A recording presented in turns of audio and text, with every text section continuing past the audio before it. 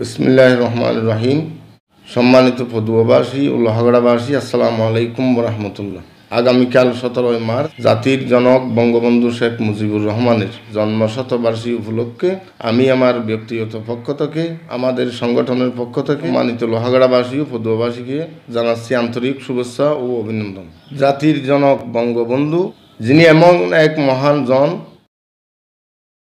যার জন্ম না হলে জন্ম হতো না আজকে এই বাংলাদেশের, যার জন্মে জন্মেছে বাংলাদেশ ওনারই সুযোগ্য একজন কন্যা, অসহায়, নির্যাতিত এতিম একজন মহিলা যিনি আজকে বাংলাদেশের মাননীয় প্রধানমন্ত্রী।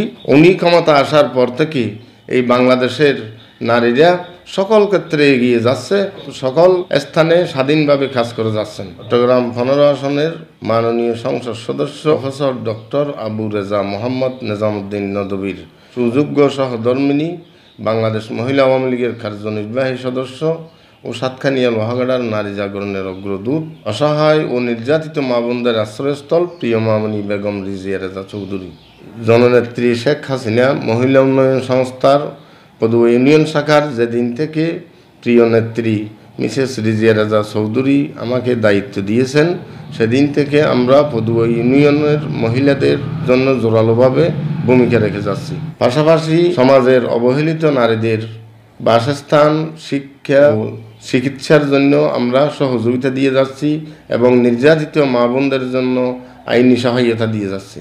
আমাদের পাশে থেকে পদুয়া ইউনিয়ন পরিষদের সুযোগ্য সফল চেয়ারম্যান জননেতা জনাব জহিরুদ্দিন সাহেব, উনিও আমাদের পাশে থেকে পদুয়া ইউনিয়নের নারীদের প্রতি যথেষ্ট সহযোগিতা দিয়ে যাচ্ছেন। আপনাদের দোয়া, সহযোগিতা ও ভালোবাসা পেলে আমরা ইনশাআল্লাহ আরও এগিয়ে যেতে পারব। তো আসুন আমরা প্রিয় পদুয়াবাসী দল, মত, জাতি, ধর্ম, বর্ণ নির্বিশেষে আমরা সকলে ঐক্যবদ্ধ হইয়ে প্রিয় নেতা প্রফেসর ডক্টর আবু রেজার হাতকে শক্তিশালী করার লক্ষ্যে এবং প্রিয় মামনি বেগম রিজিয়া রেজা চৌধুরী হাতকে শক্তিশালী করার লক্ষ্যে এবং আমাদের ইউনিয়ন পরিষদের সফল সুযোগ্য চেয়ারম্যানের হাতকে শক্তিশালী করার লক্ষ্যে সকলেই আমরা মিলেমিশে ঐক্যবদ্ধ হয়ে কাজ করি।